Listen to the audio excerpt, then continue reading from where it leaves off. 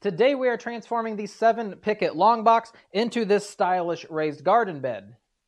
Great for people with limited mobility or someone looking to start a small but easily accessible garden. I've got 6, 7, 8, 9, 10, 11 cedar pickets for this project and a hat full of dreams. Cut all the pickets down to their correct sizes using the free plans provided. Take note that you will be cutting a few full width pieces from two of the pickets before ripping them on the table saw. Drop a comment if you like the shortcut version that jumps right into the build, or if you'd like me to do a little more in-depth and cover each of the pickets that I'm cutting, that's fine too. Once you've made all your cuts, this is what your workbench should look like. Now, we're gonna break this up into two sections, the main box build and then the bottom bracing for that little storage area underneath. To start this build, I am going to be taking two of the 45 inch long sides. We are going to take our handy dandy glue this is going to be an adventure. I was just kind of like lowball looking around to see where my 16 inch boards were to make the legs. Because I was like, oh no, I don't have those. We got them. They're longer. So squirt in some glue. I'm using Titebond Ultimate 3. It is their only waterproof exterior glue by Titebond. Take your leg, pop them on. Just like that. There you are. If you guys wanted to guess how many nails this build is going to take, my guess is 193. Seems like a good number. I won't know until after I'm done and I edit the video, so we'll see where we get to. Let's get it. So again, four nails into each.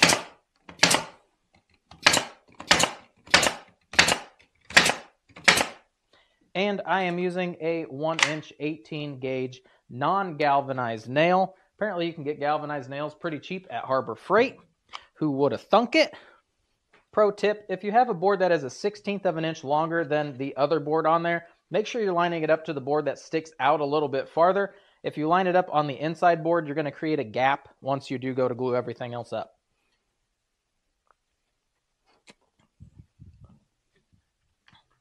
Four nails. I like to nail this board into place and then give some pressure to push these boards together. So this is where I was messing up earlier in the season. 45 inches long. This piece actually is supposed to go on the inside of the box so you don't see it in the dirt and your outside looks nice and flush. But I did mess up and I put it on the outside where the legs were at. Oops. So now I just put one on the inside and the outside. No one would know any different. Now, 45 inches, 22 and a half is my center. I just get it looking kind of like it's supposed to be there. And then I take my handy dandy square, I line it up. Again, just eyeballing to see where it's at. 22 and a half. Tip them up. Put a little bit of glue. Squish them back down. And then I put three nails into each one of the tops and the bottom.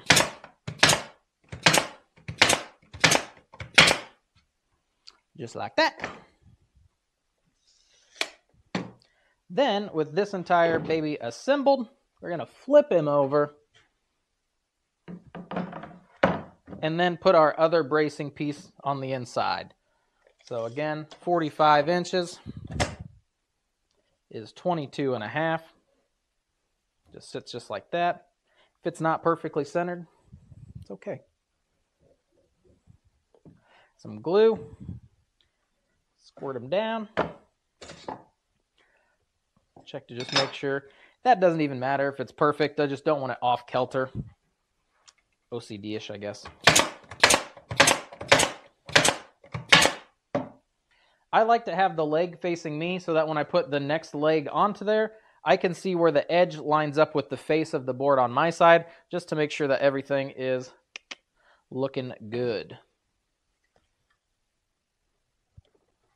A little bit of glue on there.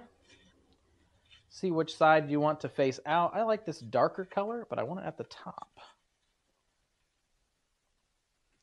So just watch for knots or if one side looks a little poopy, that would be your inside piece. Otherwise it'd be the outside. And then again, nail them into place.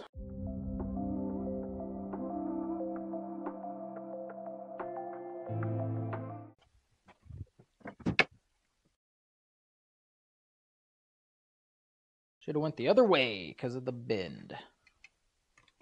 If you got a little bit of a uh, warp in them, you can just take that out Angle your air nailer. If it goes straight down, it's more liable to pull straight up. If it's at an angle, it can't do that as easily.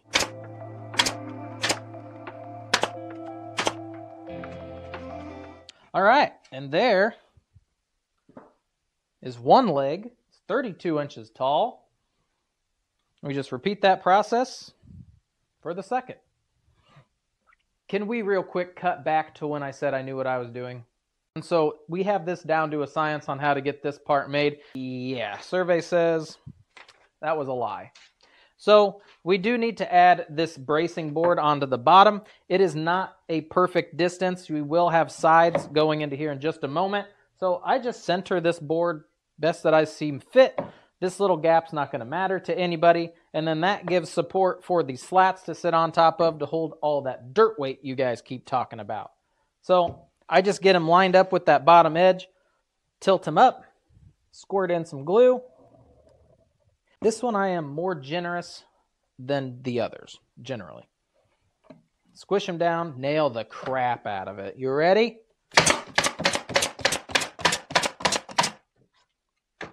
And you're just going to put a nail about every six to eight inches for support. And then repeat that on the other one that I also skipped. Well, any of you guys guess 100 or less nails? You'd be wrong. This is the part that I kind of struggle with quite a bit, and that is getting the sides put in. I've played with trying to get, you know, the a baseboard put in, before I put the sides in, see if that helps at all. It really doesn't. This is kind of an awkward thing to do, especially now that I have a, a bottom put onto them. So what I'm going to actually start by doing is putting a little bit of glue right there. Since these legs are beefed up a little bit. Then I'm going to, again, find the side of the board that I wanted to use. Pull them apart start at the top. It's because I want everything to line up nice on the top. I'm too fat to fit between these. It's 16 inches wide. Get one of them lined up. Nail him into place. Three nails. And then I'm going to get the other one in place.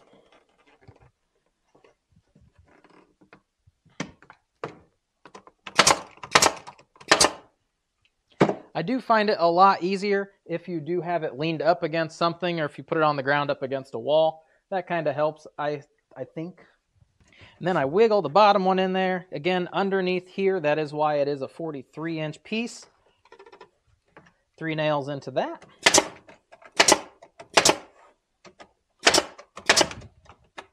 This box, because of the longer legs, I won't be able to do it on my workbench. I'm going to have to move to the ground, which might actually help me anyway. So I grab him, lay him down. Keep your pieces kind of parallel away from each other so that they don't blow out your nails.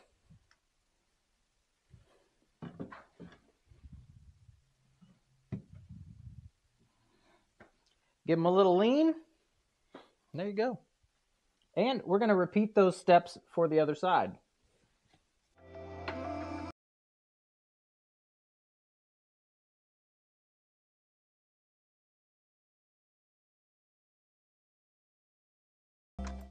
Then I'm going to take the rest of those 12 and 3 quarter inch pieces to put into the bottom of the box. Now here I am going to glue again and I want to make sure there's a nice bead of glue so that everything is held into place.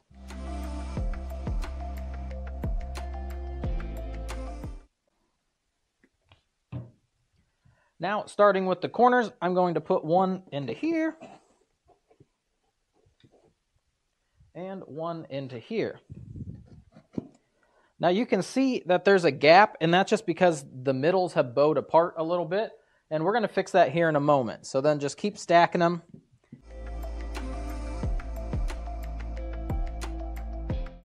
Now, when I get to these pieces, I do like to get past them. So I'm going to go ahead, put one right here, put one right here. So that way I'm not trying to awkwardly cut one of these two pieces with that under lip. Once this is in place, we're going to grab a clamp and I'm going to stick it underneath. And you can see how it straightens everything else. So where it was a little bit of a parallelogram before, it's going to straighten in because of the corners. And then finish tightening her into place. Make sure these are nice and down in the glue. And I'm going to put three nails into each.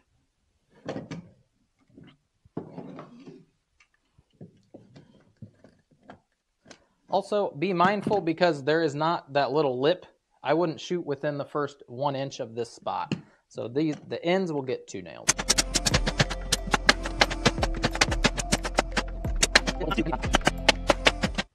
This piece is not going to fit into the bottom, so we will need to trim it to make sure that it does.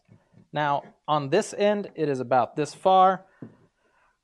This end, it's actually equal. So sometimes it is a little bit less or larger at one end. So measure both just to make sure it's not pinching that board.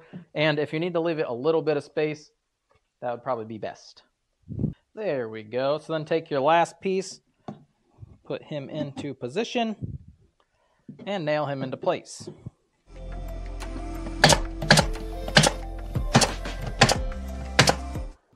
I only think two videos I've actually remembered to tell you guys to put in drain holes. So with this, I'm just using a one quarter inch drill bit and I'm going to drill two holes pretty close together down the centers. And that's just because once that dirt clump dries up a little bit, water will actually not soak in the soil. It'll run right down the sides in those cracks.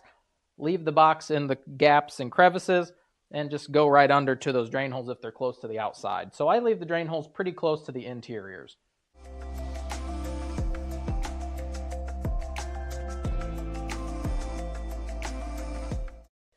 There we go. The bottoms will have a little bit of blowout, so go ahead and just run a board on the bottom just to knock those pieces off. And I only put one hole on the very outsides, and that's again just because of how the dirt reacts and how water just leaves the box. I have created two little helping blocks. They are both three inches tall. I did not like the look of the four inch tall box. Now these are just gonna get set into the corners then I'm going to take my bracing piece, find out which side I want to be the outside. It's this side, that would be the top. And it is going to get nailed into place right there. Now this keeps everything in line, those little blocks, you don't have to hold anything. So what I'm gonna do is put a little bit of glue.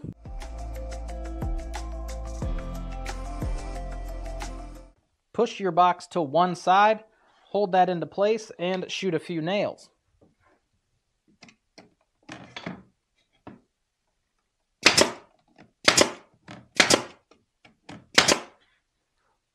Now we are going to make sure that the box is touching on this other side. If it's not, pull the two together because this distance is the same as this. So pull your box together, four more nails.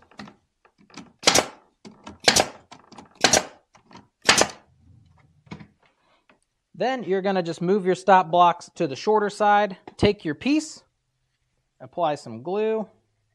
Be mindful that your edge is a little bit shorter on these pieces and then smack him into place. Three nails into him. And then again, we're going to squeeze that box into position.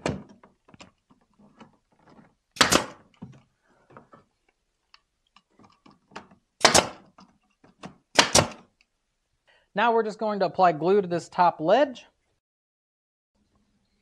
Alrighty, and same with the top. So I do just start with the corners to make sure they're butted in nice and straight.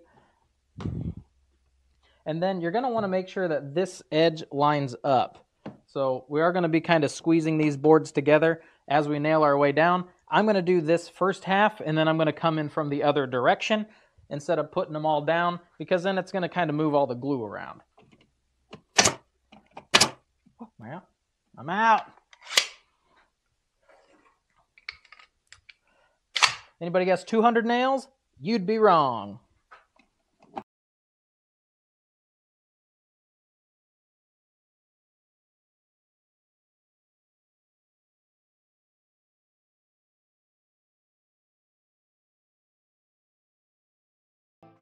All right, with four in place, I'm gonna start from the other side now.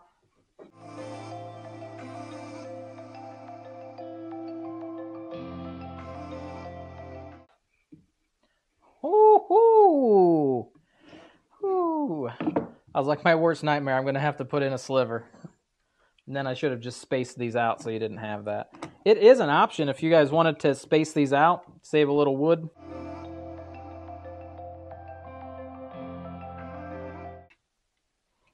And voila, there's the bottom. Something else I do with most of my builds is I wait to cut the miters until the very last. And that is just because if your boards have cupping or oversized, anything to that nature will throw off the miters on the top. And that is really what the customer's focal point's going to be when they first see the box. So I come out to 46 and an eighth and 15 and an eighth. I'm going to add a quarter inch to both of those. 15 and 5 eighths and 46 and 5 eighths are going to be my mitered cuts. Apply glue to the top lip and nail the top mitered boards into place.